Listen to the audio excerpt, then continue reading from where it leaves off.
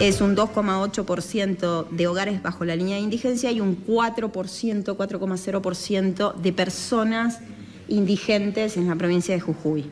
Esto corresponde al segundo semestre de 2017. Si nosotros comparamos el segundo semestre del año 2016, observamos que teníamos 3,6% de hogares bajo la línea de indigencia. En este segundo semestre del 17 tenemos 2,8%.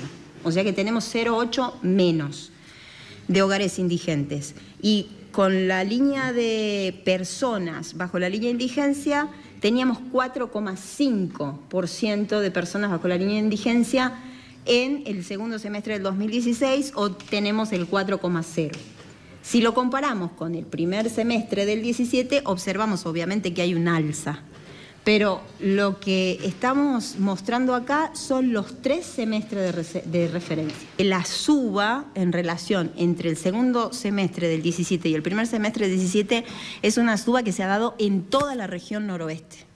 O sea, no somos solo Jujuy la que subió, es más, Jujuy es una de las tres provincias que menos subió, comparando con el primer semestre del 17.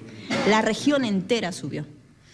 Eh, y Jujuy ha sentido menos el cimbronazo. En cuanto a las cuestiones estacionales, nosotros tenemos que ver claramente que tenemos mucha baja en el mercado laboral en, en las últimas fechas del año por una cuestión de rescisión de contratos, en las, privadas principalmente, contratos que no se renuevan, eh, se distraen fondos de las familias para otras cuestiones que no están incluidas en la canasta básica alimentaria. Entonces, tienen características similares los dos semestres. Es como que estuviéramos analizando manzanas y bananas, o sea, las dos son frutas, sí, pero es difícil compararlas a ambas.